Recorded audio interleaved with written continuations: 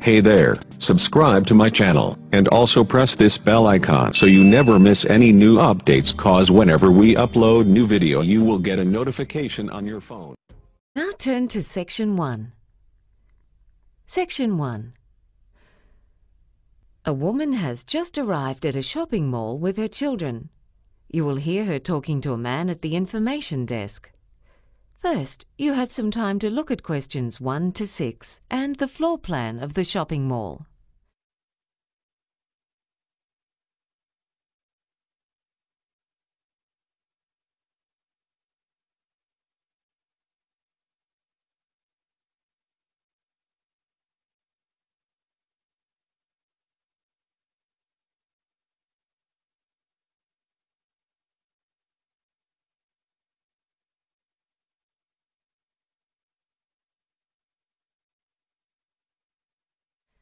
Now listen and answer questions 1 to 6.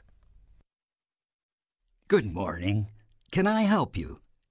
Yes, I, I've never been here before, and I've just got a few questions about where a few places are here. Fine. Here's a floor plan of the mall. You can take that with you. But if you have any questions, I'd be very happy to help. Well, I'm afraid I always find these floor plans a bit confusing. So could you just show me exactly where we are on this? No problem. Here we are at the information desk, right in the middle, next to the escalators. The man says they are at the information desk and that it is in the middle, next to the escalator. Therefore, C has been written next to the example on the question paper. Now continue with questions 1 to 6. Right. Now, I heard there's a children's play centre where you can leave your children while you do the shopping. That's right. You can see it on the floor plan.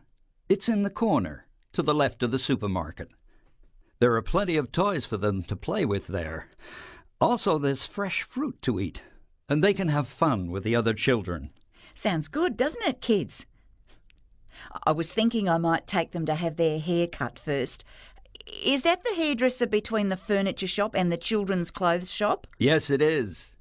They do children's haircuts as well. Oh, lovely.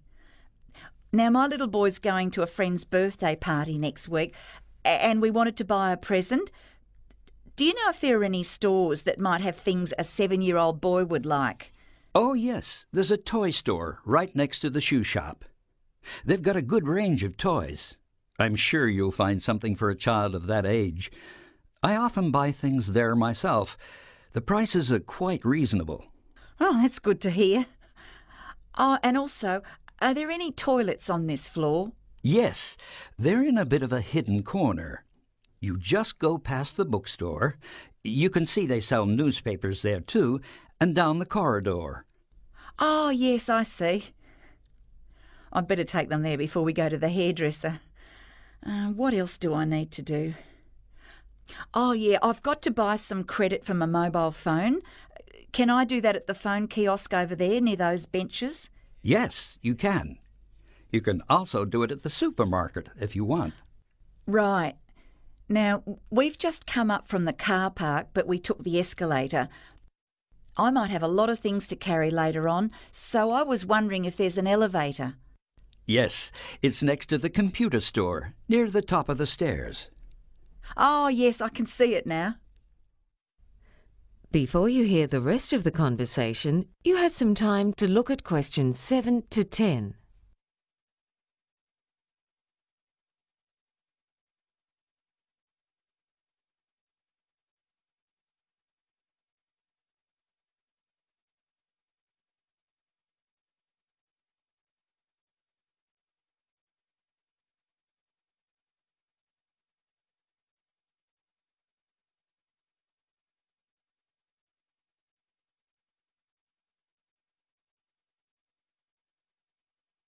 Now listen and answer questions 7 to 10.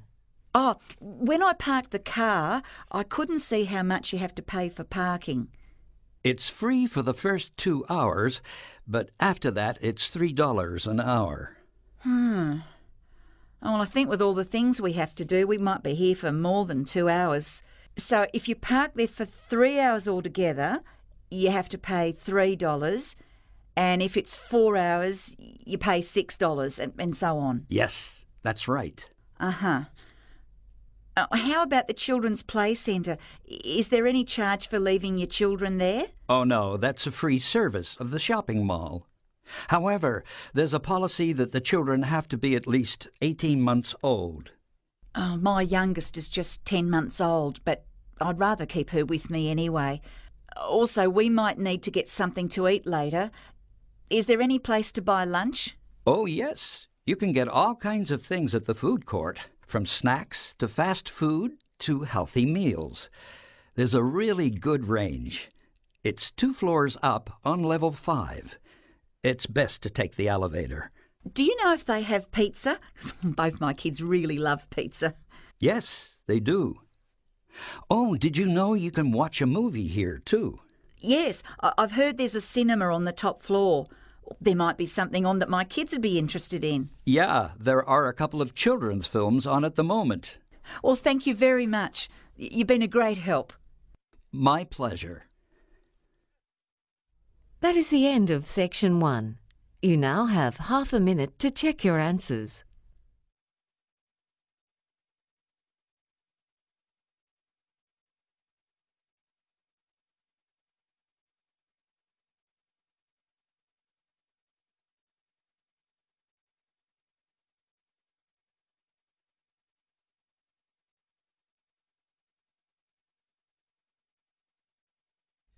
Now turn to section two. Section 2. You will hear a talk by a representative of an agency that finds people to look after homes when their owners are away. He is talking to a group of homeowners. First, you have some time to look at questions 11 to 20.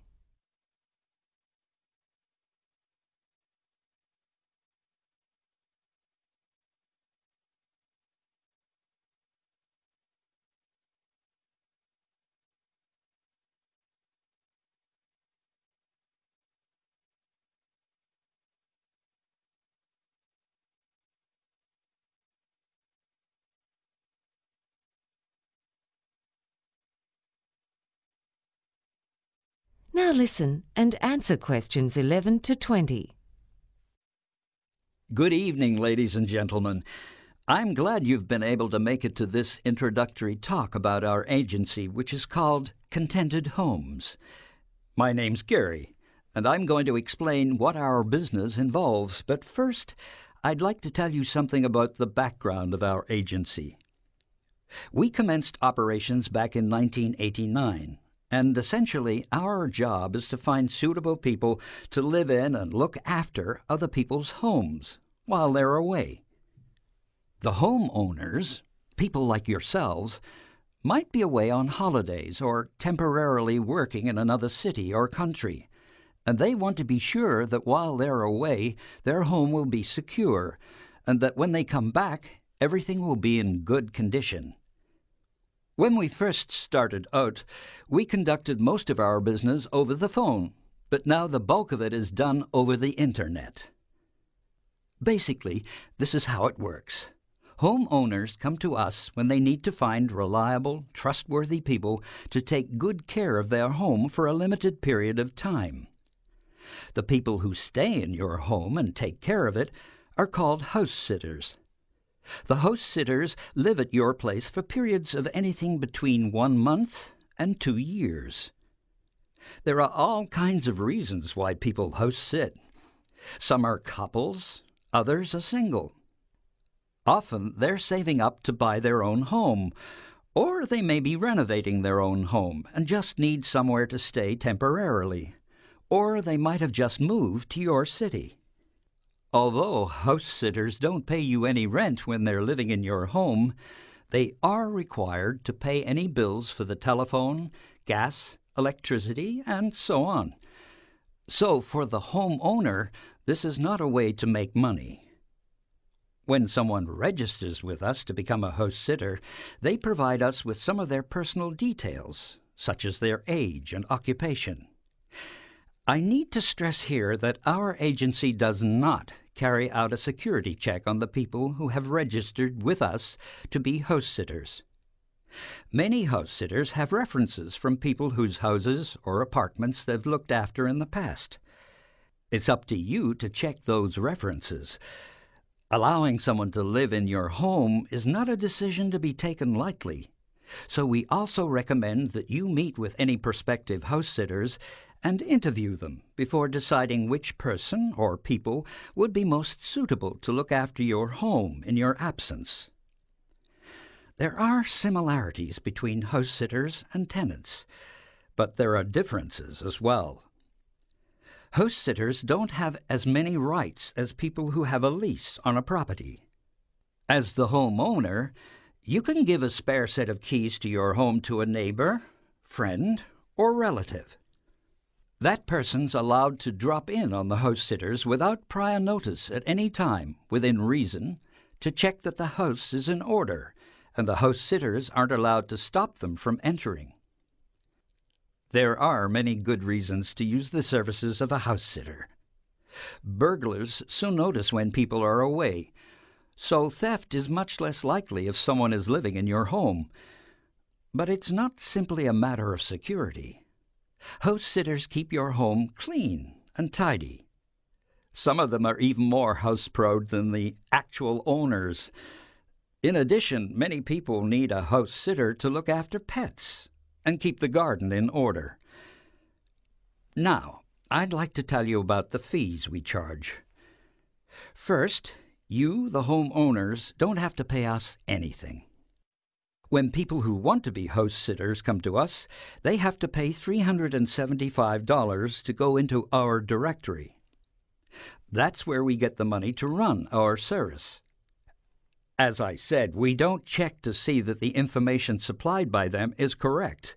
It would simply cost us far too much time and money to do that. When you've decided that you want to go ahead and have a house sitter look after your home, we definitely think it's a good idea for you to take out insurance for your home. You'll find that many insurance companies prefer the higher degree of security if someone's living in your home than if it's left empty. Anyway, I hope I've given you a clear idea of our service. And now, I'd be happy to take any questions. That is the end of section two. You now have half a minute to check your answers.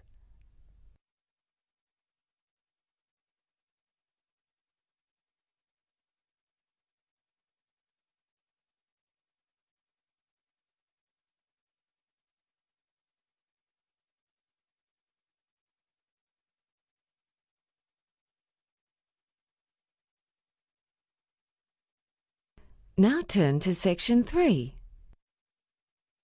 Section 3. You will hear two students talking to their teacher about a seminar paper they are preparing for their population studies class. First, you have some time to look at questions 21 to 25.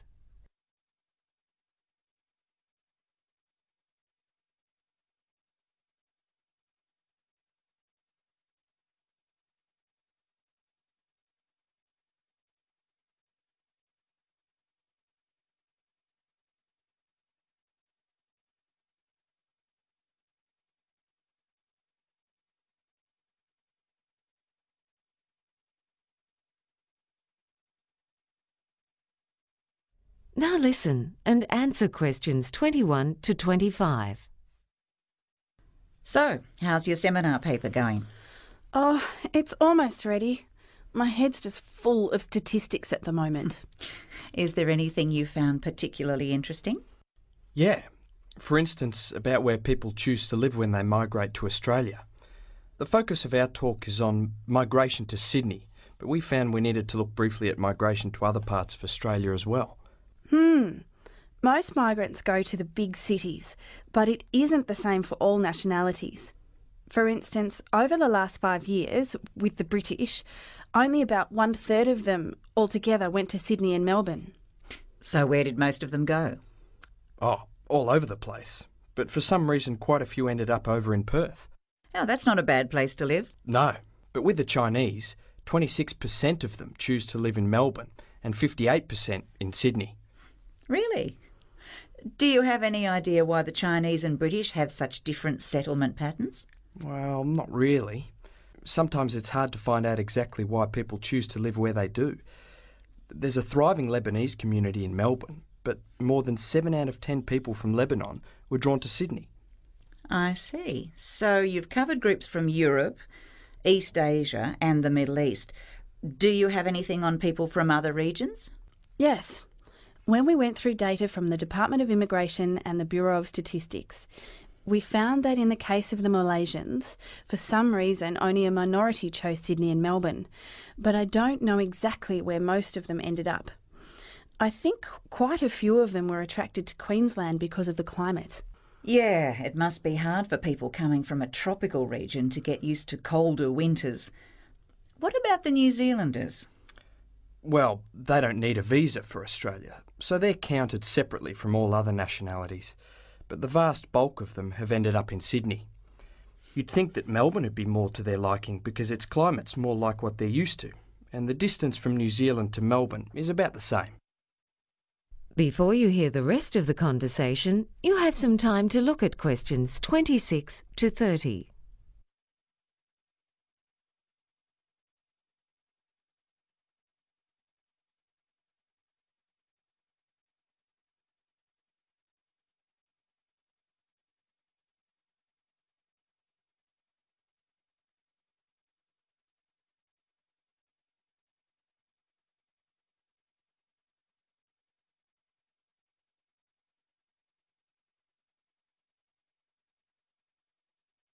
Now listen and answer questions 26 to 30. You also looked into why people choose the places they do, didn't you? Yes. Well, people often go where the work is. I mean, it's no use finding a nice place to live if you're going to be unemployed.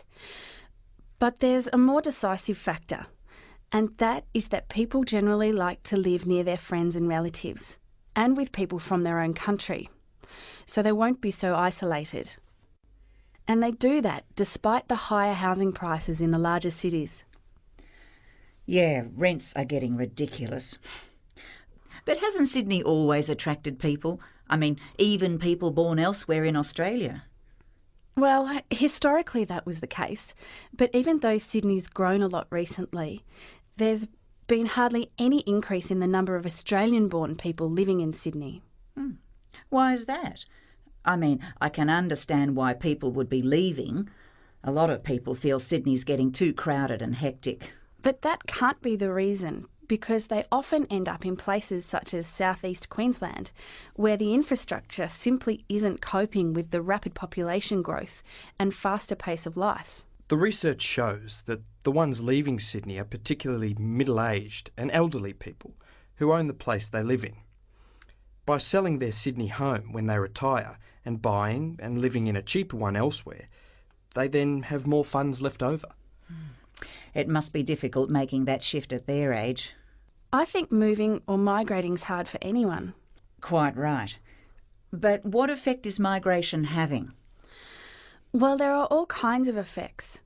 But sociologists talk about a growing gap between Sydney and Melbourne on the one hand and the rest of the country on the other. You see, the most recent data shows that 60% of the overseas arrivals went to those two cities, even though Sydney and Melbourne combined have got just 40% of the country's population.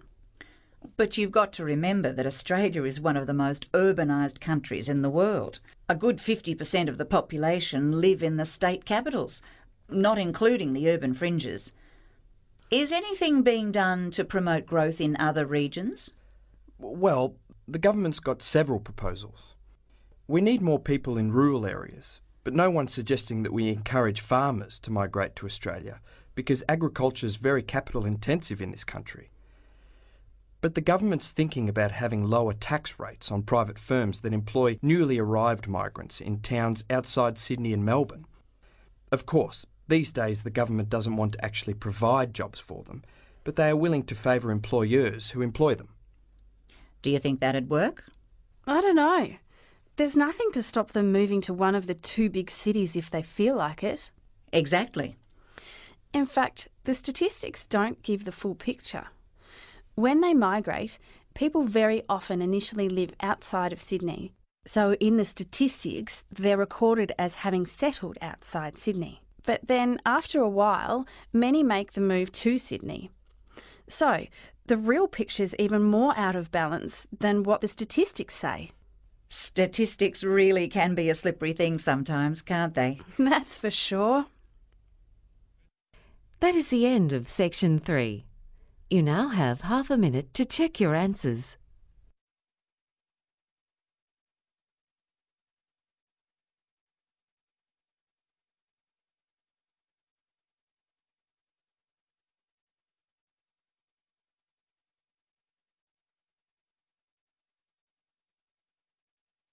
Now turn to section 4.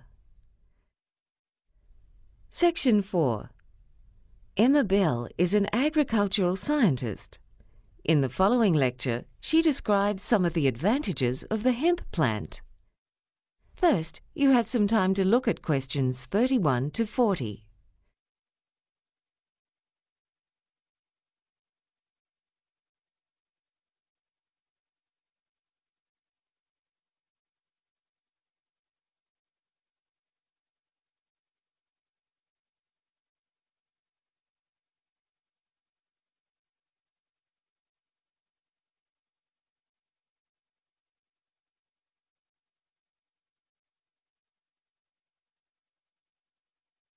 Now listen and answer questions 31 to 40. When we think of progress, we tend to look to the future. However, the past can also provide inspiration. Today, I'd like to outline some of the many ways in which the hemp plant, a plant that was used very widely until the early 20th century, can benefit both humans and the environment. You may remember that when the use of computers became more widespread, there was much talk of the paperless office. Yet now far more paper is being used than ever before. Most of that paper is made from wood, but it can also be made from hemp. Hemp is a fast growing annual plant that can be harvested within four months of germination, whereas a tree takes 20 years.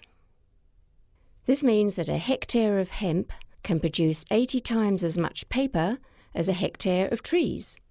In fact, hemp was the main source for paper production until the 20th century, and the paper it makes is of superior quality to that made from wood. Many of the rivers in the vicinity of today's paper mills suffer the effects of pollution from bleach and other chemicals used in the manufacture of paper from wood. In contrast, paper made from hemp does not require bleach. So much clothing these days is made from cotton. Yet fabric has been made from hemp for over 7,000 years. The trouble with cotton crops is that they take a heavy toll on the environment and are often dependent on irrigation. Hemp can grow using far less water and does not need as much fertilizer or pesticides. In fact, hemp crops even have a natural resistance to pests.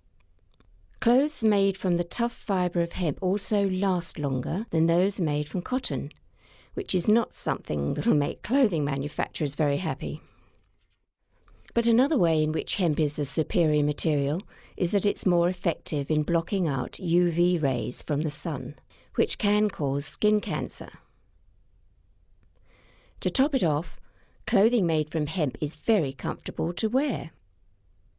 In parts of the world that still don't have electricity, this versatile plant can also be used to light lamps. Back in the days of sailing ships, when hemp was used to make ropes and sails, lamps were often fueled by whale oil, which gave off a much stronger smelling black smoke. The pursuit of that oil was one of the reasons for the existence of the whaling industry, which hunted many species of whale almost to extinction. Closer to our own time, Henry Ford used hemp in the production of his first cars. These days, with panels being made of metal, even a minor accident can lead to costly repairs. Being derived from a plant, hemp panels would be less expensive. Yet perhaps an even more significant consequence would be that instead of old cars being left to rust by the roadside, an abandoned car made from hemp would rot faster. A further advantage in the case of automobiles is the fuel. One of the major causes of global warming is the use of fossil fuels in cars and trucks. Methanol is an alternative to petrol and it can be extracted from hemp. This fuel is already used by racing cars and it doesn't produce as much air pollution, thus placing a smaller burden on the air we breathe.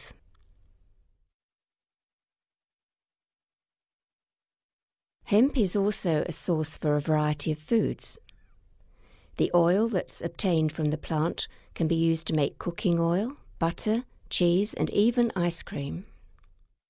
Flour derived from hemp has a greater protein content than normal wheat flour, and its seeds contain all the amino acids, providing a form of protein that's more easily digested than that in soybeans. Carpets made from hemp are more durable than other carpets and are resistant to mildew, which grows in humid or damp conditions. It can also be used in the home to produce furnishings such as fiberboard, furniture, and even plastics. Paints and varnish made from petrochemicals contain poisons, whereas this is not the case with those produced from hemp. Hemp plants are best grown close together, and because they produce an abundance of leaves, the ground underneath the plants is shaded, which hinders the growth of weeds so farmers don't have to spend money on potentially dangerous herbicides. It thrives in areas with low rainfall and may be useful in combating salinity because it doesn't need irrigation, and its long taproot can reach underground nutrients and water. As a fast growing plant, it's an easily renewable, biodegradable, and ecologically sustainable source of a vast range of products that are currently made from polluting resources such as coal, metals, gas, and oil. This is quite plainly a case where we can make progress by learning from the past. That is the end of section 4. You now have half a minute to check your answers.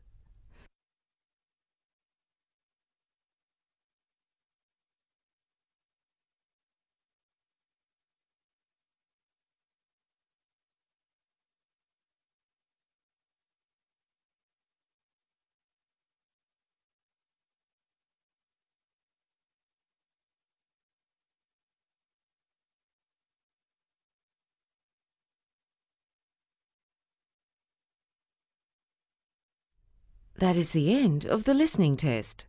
You now have 10 minutes to transfer your answers to the answer sheet.